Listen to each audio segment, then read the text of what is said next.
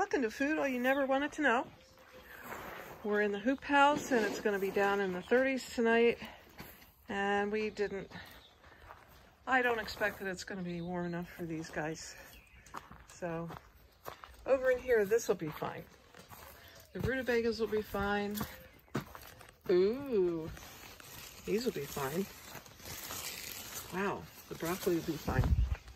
But not the tomatoes. So we're doing a little quick version of getting these back into the house because going up and down those steps on the deck is a little bit difficult. We have done it before, going up and down the stairs, but it was getting a little bit risky. And yesterday it was so windy that I was actually afraid these plants were gonna get broken on the way down. So this is a way we can take two trips in the car and we have them back in the house. Okay. So we're taking these and we're getting them into the car. This is a lot quicker.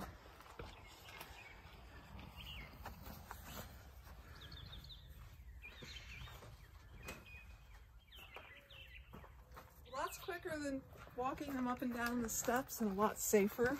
It was getting a little hazardous. Now if you notice I have, these ones are the ones that I'm planning to sell. These I might sell to individuals, but we'll see. We'll see how it goes. We'll see if I find customers. and a bunch of those. A bunch of those we also plan to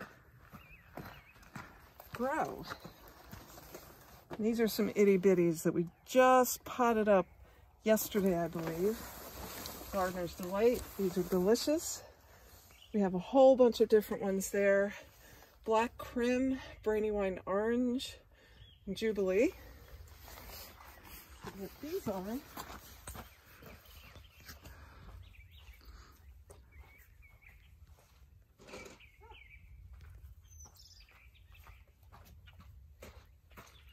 We have some Brandywine Reds.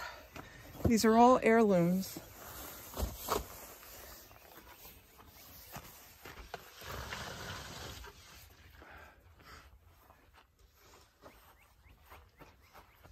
Lots more Jubilees. I have uh, one more left. Where am I going to put that? This is a good reason to get a car that you can put the back seat down.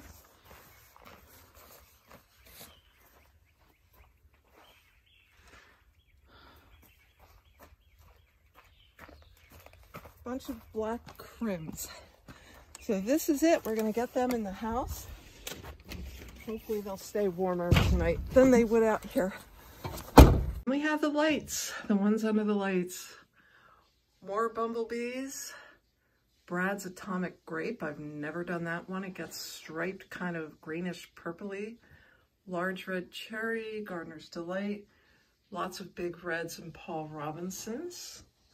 Schmidt Craig, guys, you can't get this anywhere. Um, uh, maybe in Europe. I started seed, seed saving that back, back in the 1990s, I believe. Anyway, Dagma's Perfection, a beautiful orangey red blushed, big, sweet tomato. It's marvelous. More bumblebees, more Dagma's Perfections. Black cherry, don't miss the black cherry if you've never had it. Oh my goodness, it is so, so wonderful. And yellow pears. Some of them I've potted up, some I haven't. So this is an exciting time of year. Oh, here's a picture of the Brad's Atomic Grape. I don't know, folks. we'll see if we like them.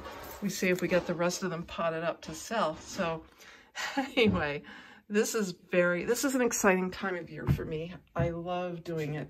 And I also have some, some of the micro dwarfs, the Snickerjock and the Joculuses just beginning to germinate in there. Those ones I'm going to seed save for so I can plant more of them next fall and winter. Here's some earlies that I started sooner And they're older. I still haven't potted them up. Hope to do this tomorrow. Glacier, it's a very early tomato, 55 days. It doesn't mind a little bit of cool weather. Garden Leader Monster is not that early, but I wanted to try it. Manitoba. Manitoba is one I've done in the past. Oh, more fireworks. And Oregon Spring. And Siletz, these two. Look at Siletz, 52 days. We shall see. Oregon Spring is 55 days.